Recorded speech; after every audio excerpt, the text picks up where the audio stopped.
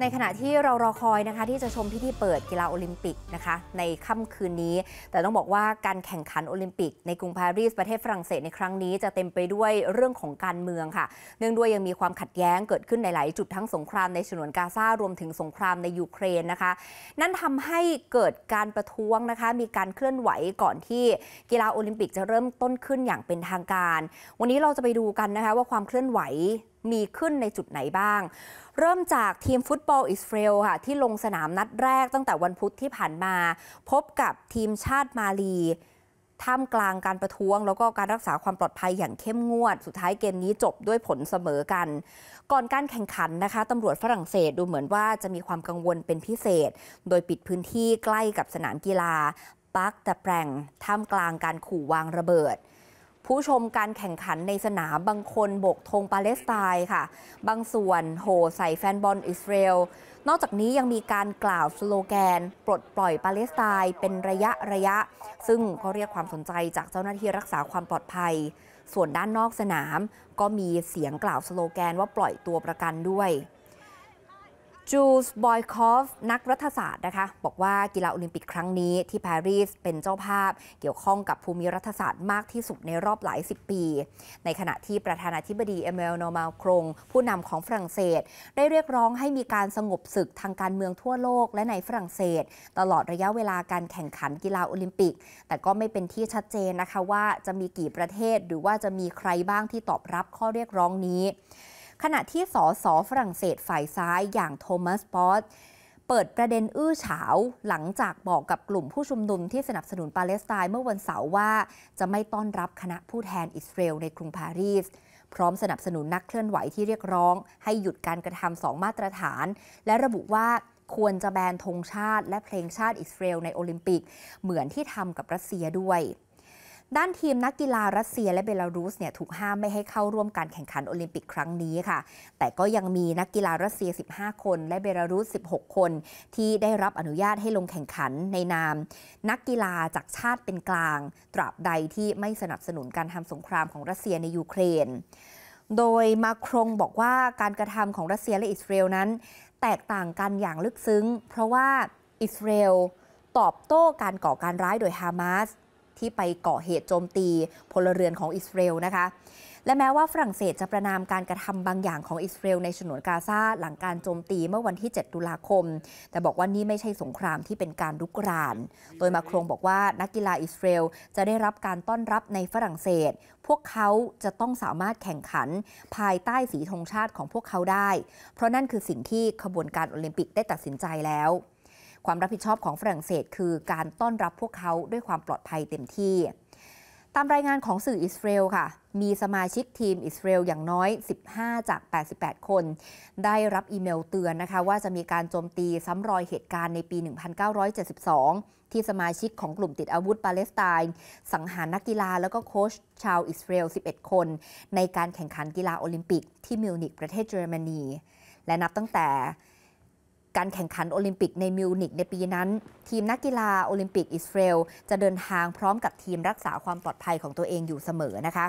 ขณะที่ฝรั่งเศสได้ส่งเจ้าหน้าที่ตำรวจ 1,000 นาย ประจำที่การแข่งขันฟุตบอลเมื่อวันพุธ และมีการรักษาความปลอดภัยอย่างหนักตลอดการแข่งขันโอลิมปิก ความกังวลของฝรั่งเศสไม่ได้มีแค่เรื่องความปลอดภัยของนักกีฬาเท่านั้นค่ะ เจ้าหน้าที่ก็พยายามที่จะคาดการ และป้องกันกิจกรรมต่างๆ ตั้งแต่การโจมตีด้วยโดรน ไปจนถึงการทำสงครามไซเบอร์เมื่อวันอังคารที่ผ่านมานะคะตำรวจฝรั่งเศสได้ตั้งข้อหาชาวรัสเซีย ที่ต้องสงสัยว่าวางแผนทำให้เกิดความปั่นป่วน ระหว่างการแข่งขันกีฬาโอลิมปิก โดยแวงซองสตรูเบล ผู้อำนวยการสำนักงานความมั่นคงไซเบอร์ของฝรั่งเศสบอกว่า การรุกรานยูเครนของรัสเซียทำให้ทางการฝรั่งเศสอ่อนไหวต่อความเสี่ยงเพิ่มขึ้นของการรบกวน การสร้างความเสียหาย รวมถึงการทำลายโครงสร้างพื้นฐานสำคัญจากการโจมตีทางไซเบอร์ ขณะที่รัฐมนตรีมหาดไทย เจอร์มาแนงค่ะ เปิดเผยว่าฝรั่งเศสได้ปฏิเสธคำขอทำบัตรสื่อของชาวรัสเซียจำนวนมากสำหรับกีฬาโอลิมปิก เนื่องจากเป็นกังวลนะคะว่า คนกลุ่มนี้อาจจะ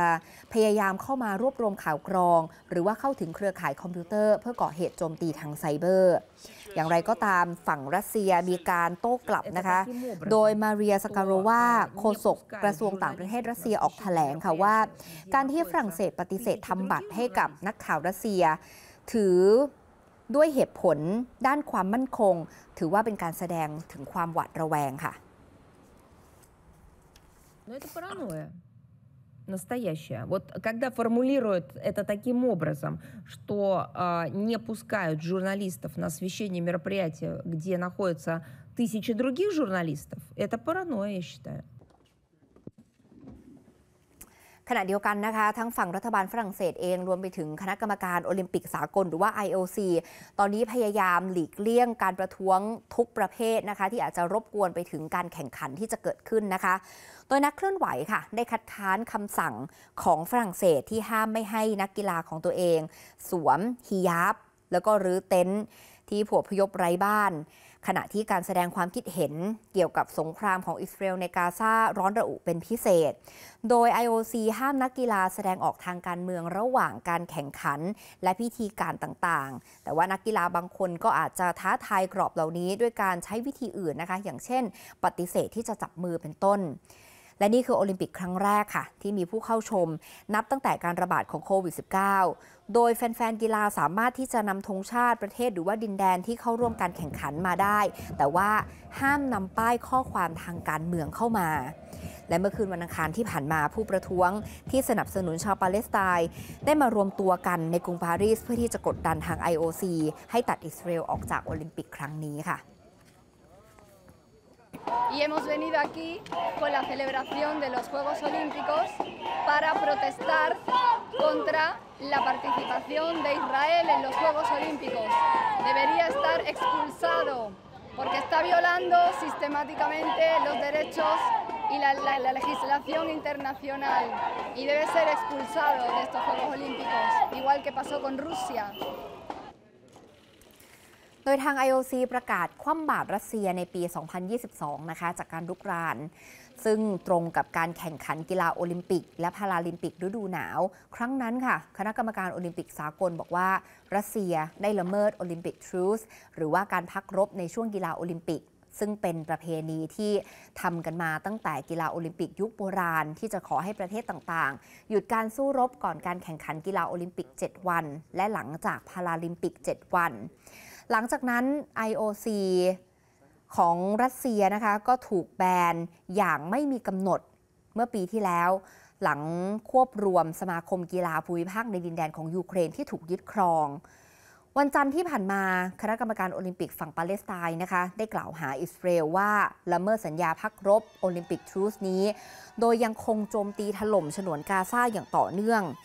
ขณะที่ฝ่ายอื่นๆ ค่ะ ได้ยกตัวอย่างกรณีของแอฟริกาใต้ที่ถูกห้ามไม่ให้เข้าร่วมโอลิมปิก ปี